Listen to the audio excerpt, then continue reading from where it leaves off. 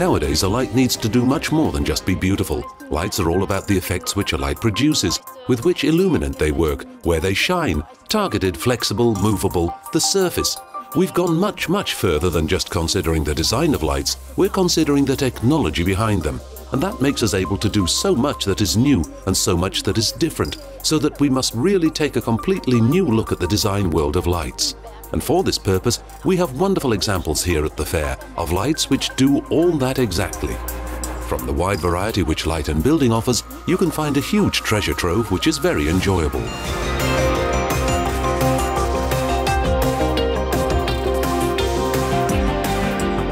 The topic of the future in the industry is human-centric lighting. What does it mean?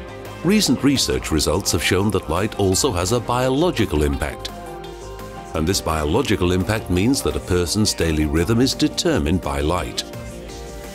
The lighting industry has put this into practice in its products and lighting solutions in order to support the human individual as fully as possible. Yes, it is the trade fair for our industry, there's no show in the world which features such a range of firms in the lighting sector.